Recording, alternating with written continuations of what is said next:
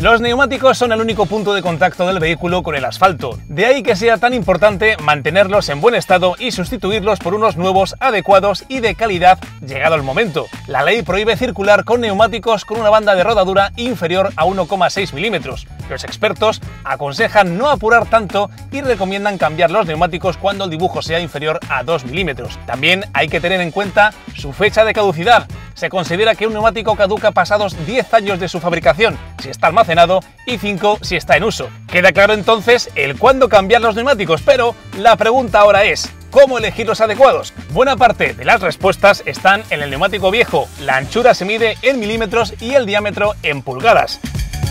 También hay que tener en cuenta el índice de carga y la velocidad. La elección de la marca es cuestión de gustos y presupuesto. eBay cuenta en su web de motor con un apartado especial dedicado a neumáticos. Ofrece diferentes opciones de búsqueda para que todos los resultados sean 100% compatibles con el vehículo.